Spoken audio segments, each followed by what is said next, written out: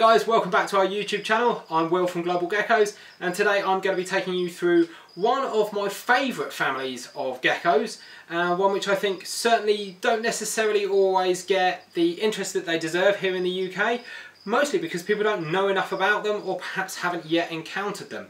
So the animals I'm going to be talking to you about today are the knob-tailed geckos from Australia. Uh, is the genus for these guys and it's roughly split into two groups. So you have the smooth knob-tailed geckos and the rough knob-tailed geckos. And I've got some great examples of both here today to show you.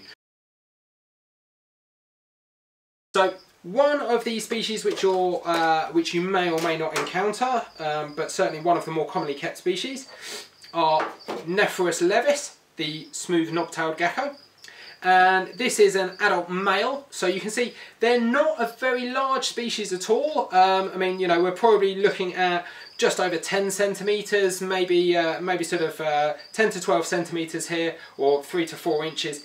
And they are kind of disproportionately top heavy in as much as they have that really large head with big eyes and their tail uh, sort of typical of the uh, typical of the whole family is quite short and ends in this small sort of like little almost like a almost like a bobble, but as uh, as they tend to say, a knobtail.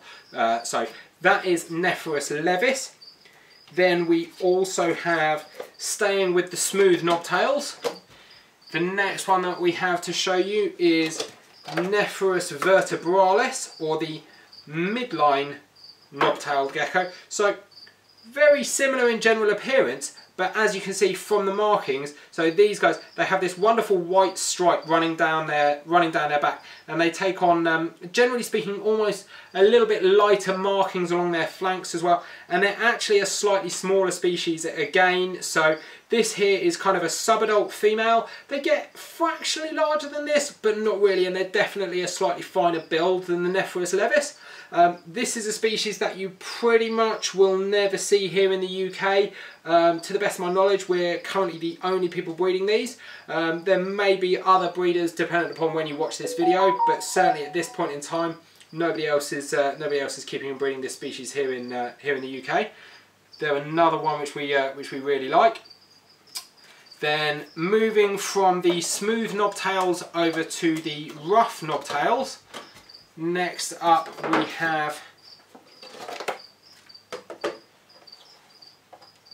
so we have cinctus. So the first thing to immediately point out is although the general body shape is almost identical, the scalation here, these guys are really quite, I mean, rough is almost an understatement. It's kind of prickly their general uh, their general sort of uh, scalation here. But again, these are quite a small species here. So these are uh, these are a banded uh, uh, uh, knobtail species. So you can see from a couple of bands here. There used to be two subspecies, Nephrurus wheeleri and Nephrurus wheeleri cinctus. They're now separate species, and the majority of the ones which you see are Nephrurus cinctus, the same as this. Um, so again, these are, they're probably the most commonly encountered of the knobtail geckos now, but they're a small, rough knobtail gecko. And then finally that brings us on to the Centralian knobtail gecko, which is the largest of all of the species in the family. It's another rough knobtail, and it's probably, for many people, regarded not just as the holy grail of knobtail geckos, but certainly as one of the holy grail species of gecko keeping full stop. And you can see they have this almost uh, almost comical sized tail. So this is an adult female here, and you can see her tail is absolutely tiny. That's not a regen tail, that is her full size natural tail there but you can see really really top heavy this species so massive head at the front there. And that's actually uh, partially due to their wild diet as well as eating insects. Um, certainly these uh, certainly Nephrurus amyae here they can be cannibalistic uh, when it comes to other gecko species. So certainly some of the smaller Australian gecko species often will fall prey to these guys. So that big head and powerful jaws are there um, mostly to help them when hunting really. From a lifespan viewpoint, any of the knobtails, any of the Nephrurus are going to live certainly a good 10 plus years, but I would like to think that most of them will exceed 15 years.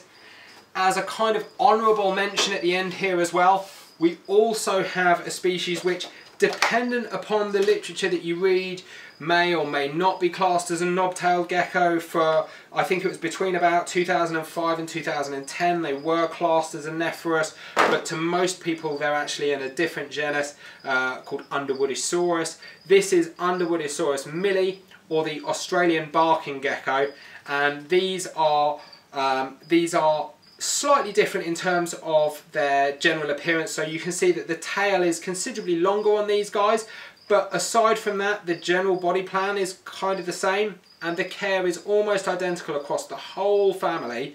Um, these, if anything, are more similar to the smooth knobtails rather than to the rough knobtails. Um, but when it comes to their care, there is a couple of minor differences between these guys and the rest of the knobtails. But for the purpose of this video, I'm going to include these Australian barking geckos in with the rest of them because they are all very similar. The general natural habitat of any of the Australian knobtail geckos does vary a little bit from species to species, but on the whole it would be uh, it would be a safe bet to say that they're generally from quite an arid kind of environment. You would find them sheltering in amongst rocks and certainly for some of the species in amongst things like termite hills and things like that.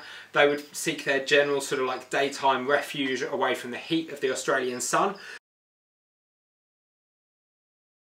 So that is their natural habitat, but when it comes to their captive environment, you can keep them in uh, glass enclosures, but my honest opinion is that the kind of the glass fronted melamine style enclosures are going to be a better bet simply because they're a little bit easier to heat to the sort of temperatures that you're looking for for keeping any of these uh, any of these Nephrurus, these knob-tailed geckos. The general size is a bare minimum of a two foot enclosure, so 60 centimeters by sort of like 45 deep. That will work well for some of the smaller species. Perhaps for things like the Centralian, so the Nephrurus amyae, you may certainly wish to go a little bit bigger than that, perhaps to a 90 centimeter enclosure by sort of 45 by 45, just to give them a little bit more space in their environment. As far as sort of like heating and lighting for their enclosures goes, in a smaller enclosure you could use a heat mat running through a thermostat but certainly for a, any form of a larger enclosure we tend to actually prefer to heat them from above during the day and then to give them a really good day-night cycle so that they're getting the heat during the day and then we actually we turn their heating off overnight. We find that this helps to replicate the kind of environment which they would naturally be from. So in order to do this we tend to use a light fitting attached to the underside of the vivarium uh, sort of um, the vivarium lid and then we will use something like a low wattage halogen in order to provide a very focused basking area for them. Uh, again, we will control that through a dimming thermostat, or if you wish to have something a little bit more advanced, then there is the option of things like the Microclimate Evo range where these can be controlled from a smartphone. So we tend to use an overhead heat source on during the day, off at night, simply because in a uh, in quite an exposed environment, which is where they would naturally be found, there's a massive swing between daytime highs and nighttime lows. You're aiming for an ambient sort of temperature of about 28 to 30 during the day, with a hot spot of about 32 to 34. And then overnight, they can actually take temperatures, certainly for some species, as low as about 10 or 12 degrees overnight.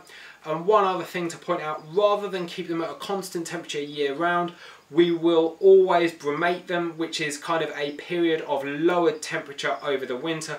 We find that this helps especially with the benefit of stimulating them to breed for the following spring. When it comes to providing your uh, Australian knobtail geckos with an appropriate environment in captivity, one of the best things that you can go for as a bedding material is something to replicate the kind of sandy soils that they would live on naturally in the wild. So ones which we like, we like the BioLife Desert, so this is like a sandy loam, this one. And another one which we find that works particularly well is actually the, uh, the Leo Life. So this one is sort of a sandy clay kind of based soil. This one, this one also works really well for them. So we'll use that as a general bedding material Then aside from that, you're going to want to provide them with a few hiding areas. So we will always make sure that we use some form of heavy resin based hide immediately below their heat source. So this will then give them a warm environment that they can also seek shelter in. So this is kind of like their, their hot hide within their environment. And then down towards the cool end, we will often provide them with another hiding area Quite often this may be one which has a base to it which we will then put either some dampened coir or moss into just to provide them with a humid hide. It is worth noting however that most rough knobtails will not use a humid hide. Most smooth knobtails will and when it comes to the Australian barking gecko, so the Underwoodisaurus milii, uh, one which used to be Nephrurus milii for a short time, that I would definitely say requires the humid hide and they will often seek that out and spend considerable amounts of time in there. So dependent upon species, the addition of a humid hide is variable, but it's certainly something to bear in mind. Other cage furnishings will often also provide sort of cork flats, so lower lying bits which they can then just dig under to provide them with a little bit of security and then also will often use sort of various bits of natural rocks and slate within their environment as well. If you wish you can put live plants in their enclosure but you are going to need to put ones which are going to be tolerant of quite a hot arid environment so we tend to use things like aloes and Sansevierias simply because these kind of plants are going to be tough enough to stand up to the kind of environmental conditions within the within the uh, environment for your knob-tailed gecko.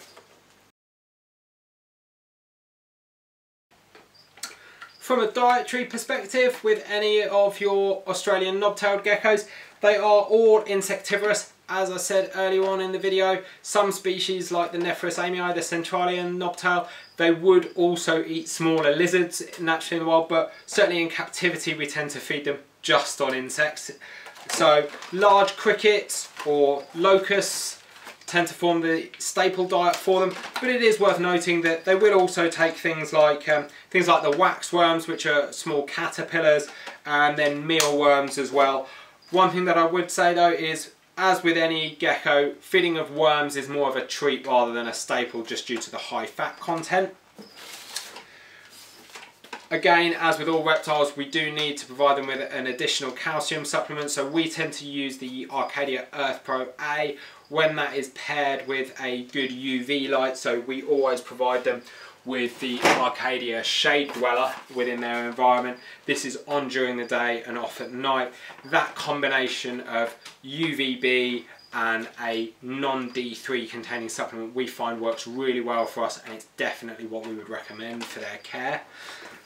One thing is though, from time to time, especially with egg laying females, you may wish to provide them with additional dietary D3. So you can do that using something like the Arcadia Revitalized D3.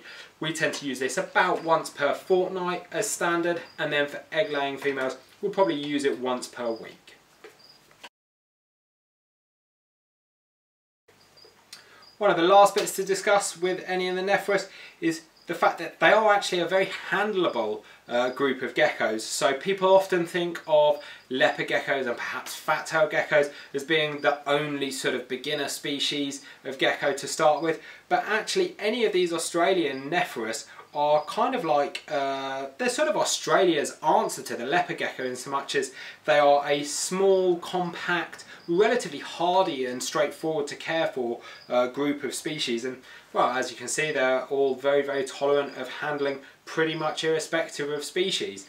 So I would definitely say for a dedicated beginner that perhaps wants something a little bit more unusual or even if you're just looking for something a little bit smaller than a leopard gecko where keeping them in sort of a 60 centimeter enclosure is a little bit more of a uh, more of a realistic size for them certainly for some of the smooth knobtails um, that's going to be an appropriate size enclosure whereas especially for things like the leopard geckos these days we would always like to see them kept in at least a 90 centimeter enclosure. So if you perhaps haven't got the space for a leopard gecko but you would like something just as easy to look after that's also going to be equally handleable definitely, definitely would recommend uh, exploring further the prospect of keeping uh, one of the Australian knobtail geckos. These are charming and fascinating animals to keep.